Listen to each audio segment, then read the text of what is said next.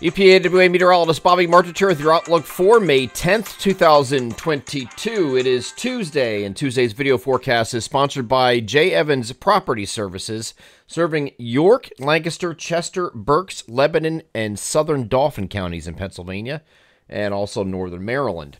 Spring is here and the growing season is now upon us. If you're looking for quality work at competitive prices from a family owned business, J. Evans Property Services is the way to go. They offer premium landscaping and design, sod install, drainage solutions, as well as residential and commercial complete property maintenance. You can call or text to the phone number above me here in the video or schedule an estimate through their website, landscapingcontractorslancasterpa.com. They are J. Evans Property Services, proud sponsors of the Tuesday video forecast. So this video is not going to be as long as I normally have them because we usually have something going on, and we really don't. Uh, we have this upper level low that is sitting offshore is a little bit further southeast today. Yesterday was up here. Uh, so it kind of drifted off to the south and east a little bit, and that will continue to be the case over the next couple of days. So today, again, we are mostly sunny across the entire region. Temperatures getting into the 70s for most of us in the interior. However, the spread here is 65 to 73 from east to west because we have the opportunity uh, to have cooler temperatures with that northeasterly wind flow still coming in off the ocean. Still a little bit breezy along the shore points, most notably. Interior, not so much. Uh, we will have a decrease, a steady decrease as this low pressure uh, upper level low continues off to the south. So uh, today is uh, going to be a little bit cooler at the shore points because of that onshore flow and marine flow, and it's going to be the same case here on uh, Wednesday as well. You see, most as you can see above me, both days are mostly sunny. However, the upper end of the interior uh, temperatures are going to be a little bit higher here on Wednesday, with 75 as a max temperature found across the region on Wednesday. So we're going to see a steady increase there.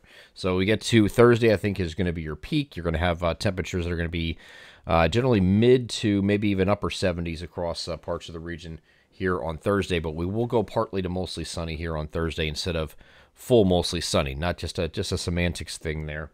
Uh, and then once we get to Friday, we're talking about partly to mostly cloudy skies. And this uh, upper level low is going to move across, uh, eventually move and retrograde westward into the southeastern United States and set up shop right here on Friday.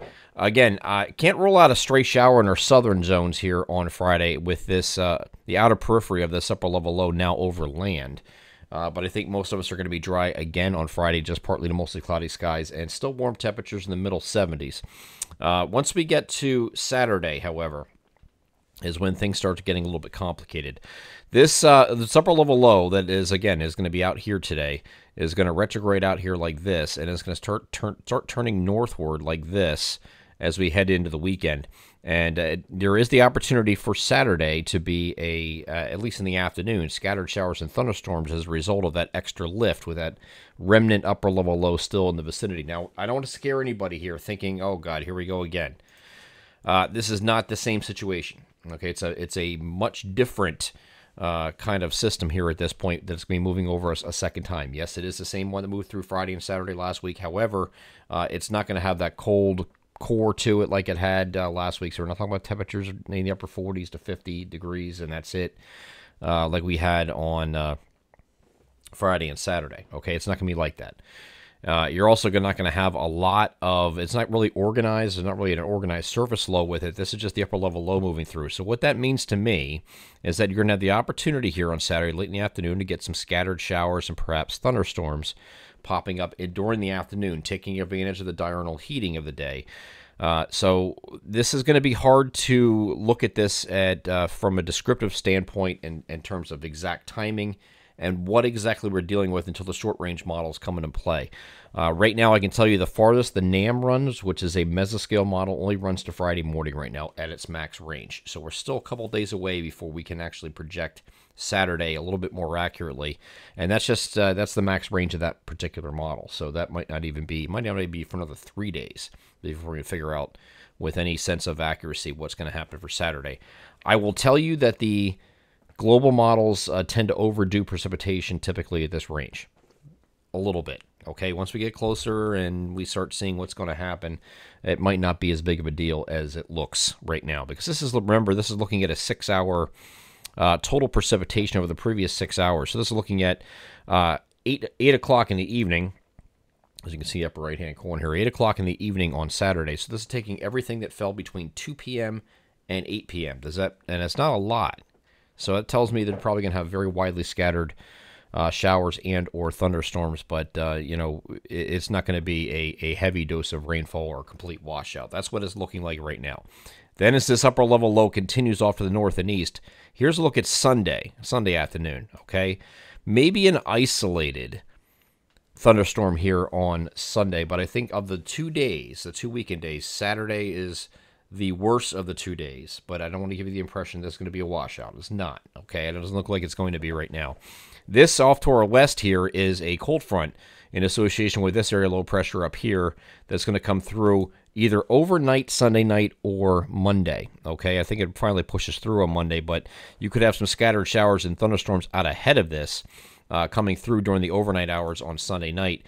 So Sunday doesn't look too bad right now. Partly sunny, isolated PM thunderstorms that we have listed in our local forecasts. And I think the better chances from a percentage standpoint or probability standpoint are going to be uh, on Saturday with that upper level low or whatever's left of it at that point, moving back uh, to the northwest of our region and giving you some added lift. And uh, you could have a couple showers there or a thunderstorm. Uh, so we're going to get into finer details as we get throughout the week. I won't have the answers tomorrow yet either, okay, and the exact timing. We might have to see what the global models are doing that, what see where they're trending, we could do that.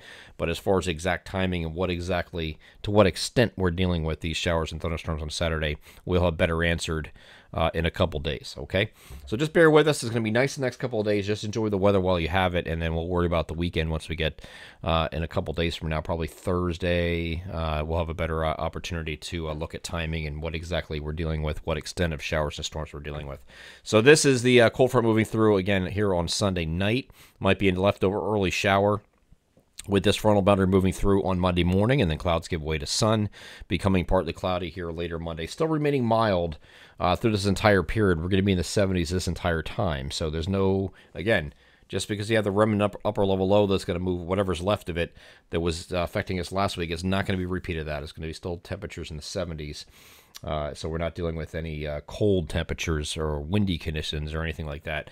Uh, and then uh, we will get the details for this weekend and how exactly it breaks down over the next couple of days. So please keep checking back throughout the week, and I'll give you the latest information as I get it.